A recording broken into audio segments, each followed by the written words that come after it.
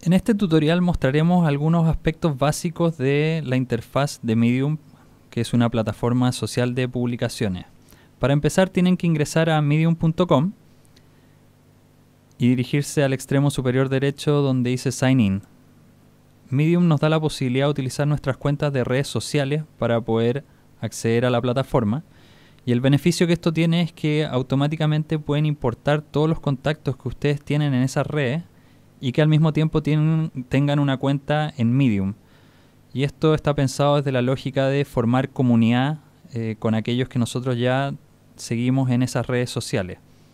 Yo en este caso utilizaré mi cuenta de Twitter, que es la que siempre he usado para acceder al servicio.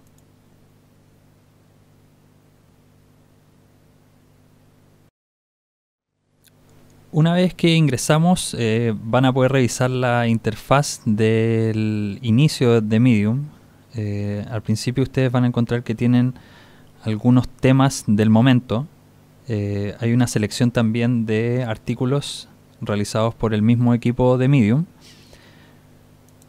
Donde aparece la fotografía de su foto de perfil, ustedes tienen las opciones para poder ver los borradores, crear nuevas historias, ver las estadísticas de sus publicaciones y ver las etiquetas que están siguiendo o buscar nuevos temas para poder eh, revisar en Medium. La campana entrega las últimas notificaciones si alguien los ha mencionado o le ha puesto me gusta alguno de sus artículos.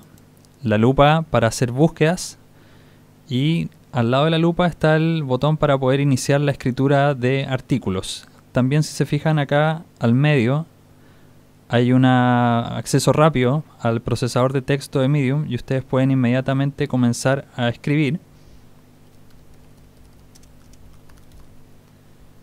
Pero también pueden ir directamente a la versión, al procesador de texto que está en modo pantalla completa. Una vez que ingresan al procesador de texto de Medium, eh, cada artículo funciona como bloques de texto. Ustedes comienzan a escribir y se presionan Enter, se van a dar cuenta que se van generando distintas eh, bloques o párrafos. Si ustedes hacen doble clic sobre el texto, se va a desplegar una serie de opciones de estilo eh, y de jerarquía. Por ejemplo, pueden agregar negritas o cursivas al texto. También pueden incorporar enlaces. Tienen que copiar una URL y pegarla acá. Pueden darle mayor jerarquía a un título o si ya es una bajada puede ser menor. Y también pueden generar citas. Y el último botón de las opciones que le aparece acá es el de notas privadas. Cuando ustedes reciben, por ejemplo, el borrador de un autor que desea compartir el texto con ustedes, ustedes pueden dejarle notas privadas que solamente él puede revisar y puede replicar al mismo tiempo.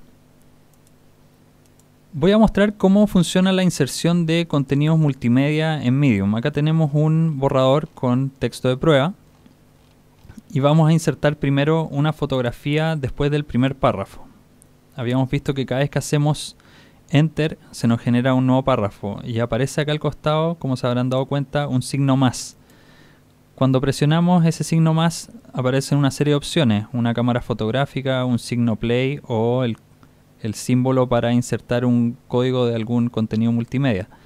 En este caso yo voy a presionar la cámara fotográfica para poder insertar una fotografía que tengo en mi equipo.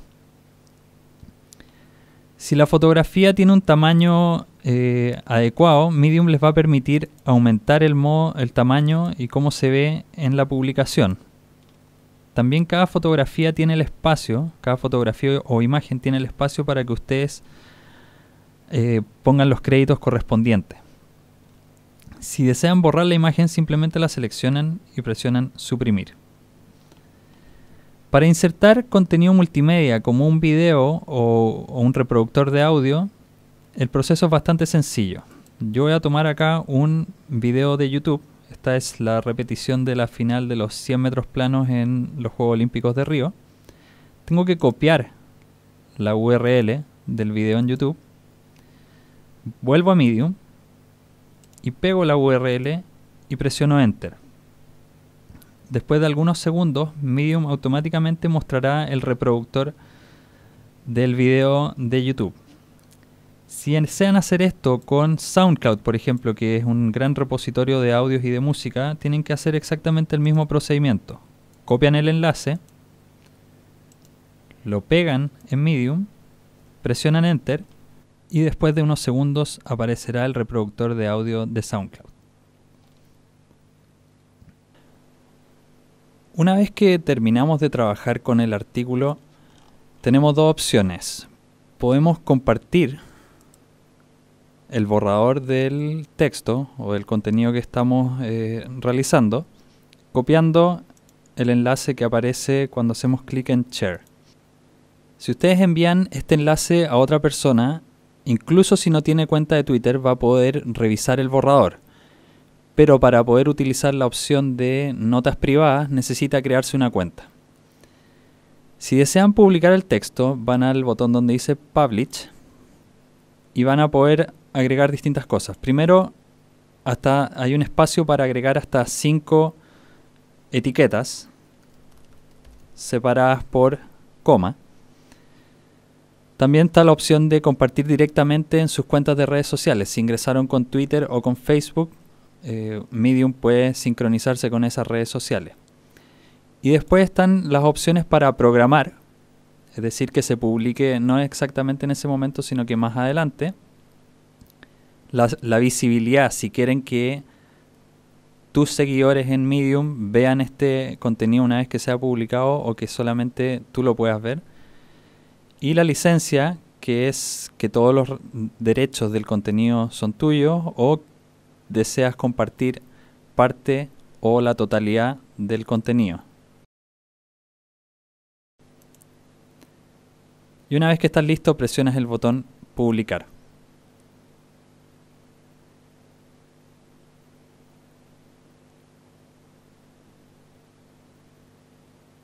Y ya tenemos nuestro artículo en línea.